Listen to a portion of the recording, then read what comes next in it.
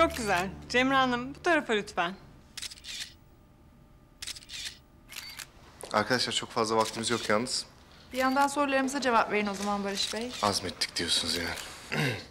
Ama Barış Bey günlerdir peşinizdeyiz. E tamam canım buradayız işte dairemizdeyiz. Öyle kalın. Lütfen birbirinize bakın. Cemre Hanım biraz gülümseyin lütfen. Biz ayrılmayacağız ki Cemre. Barış lütfen bana öfkeli olduğunu biliyorum. En azından Kuzey yüzünden ayrılmayacağız. Biraz da kanepede resim alalım lütfen.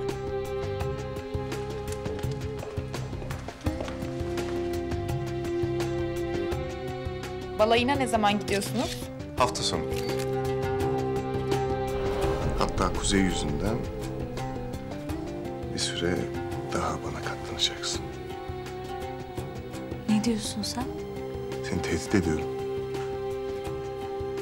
Eğer benden ayrılmaya kalkarsan...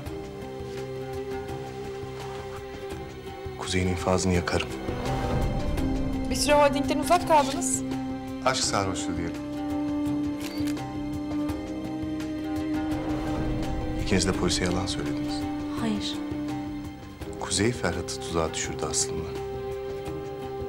O söyledi buluşma yerini. O çağırdı ormana Ferhat'ı.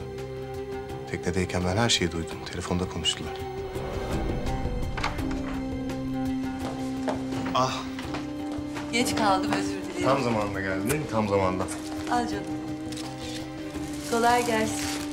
Cemre. Tatlım. Merhaba.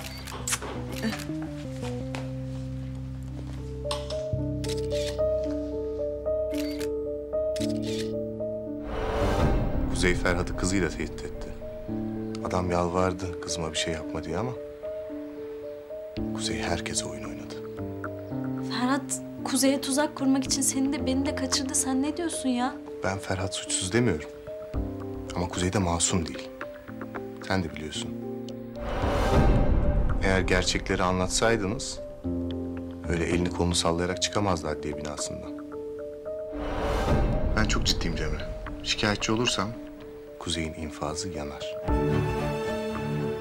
Hepiniz Kuzey'in lehine ifade verdiniz ama ben konuşurum.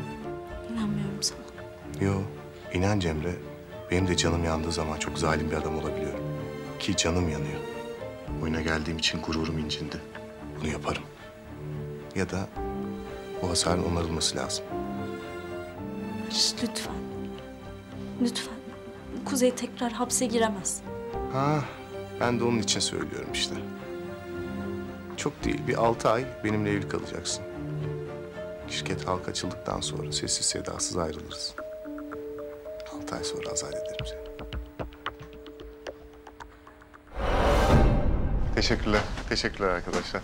Teşekkürler, teşekkürler. İyi ki geldiniz.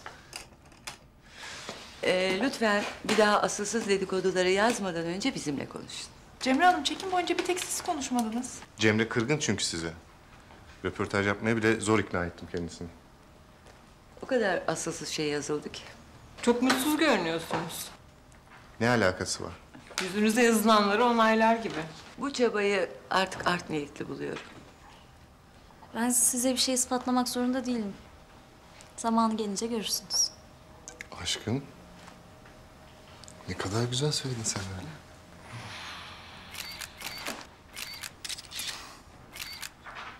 Siz de fırsatı kaçırmayın.